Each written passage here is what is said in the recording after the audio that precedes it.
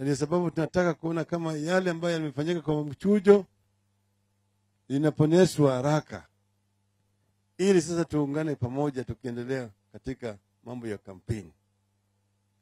Hiyo ni mambo waida ingine. Ati wale ambao walikuwa aspirants na hawako wako faulu, usimchukue kama adui.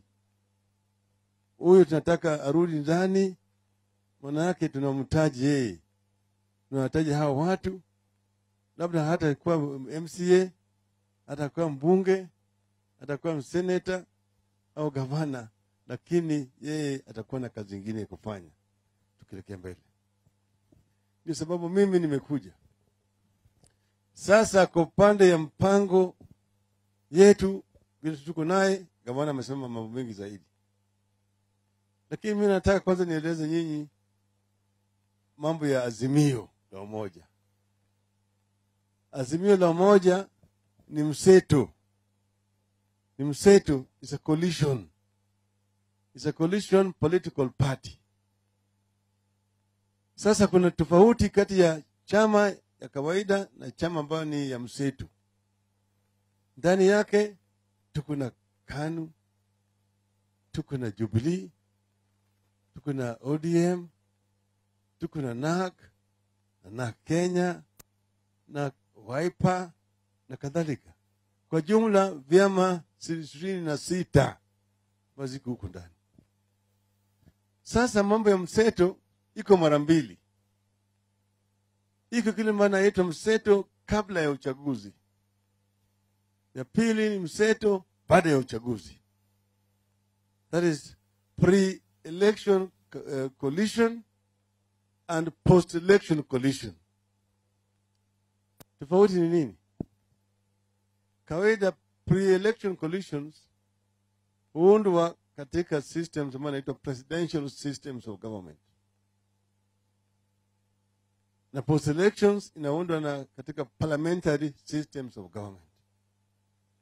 Tofauti nini? Presidential systems, political parties come together so that they can consolidate votes and uh, get their candidate elected as the president. In parliamentary systems, the pol political parties compete first in the elections. Kila chama peke yake anaweka makandidates yake, wana campaign. Baada ya kumaliza uchaguzi, sasa wanaangalia if no particular political party gets enough seats to be able to form a government on its own, then it has to negotiate coalition with the other political parties. It's called horse trading wewe na na viti ngapi? Na viti ngapi? Mpaka viti ya kutosha ya kuweza kuunda serikali. Sasa yule mtu ambaye anakuja ako na madai yake, anasema mimi niko na niko tayari kuungana na wewe, lakini mpaka mimi nipate hii na hii kwa serikali. Trading.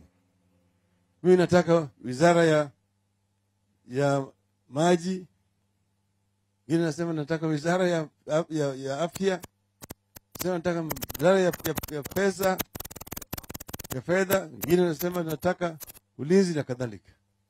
That is done in a parliamentary systems of election of, government. In presidential we consolidate the votes. So nataka kura ya wanakanu, kura ya wana Jubilee, kura ya wana ODM, ya Wiper, NAK na kadhalika, zote tunaunganisha pamoja kwa uchaguzi wa urais presidential. Alafu kwa upande wa ubunge tunaangalia eneo hii yote hii, chama ambayo iko na nguvu zaidi ni chama fulani.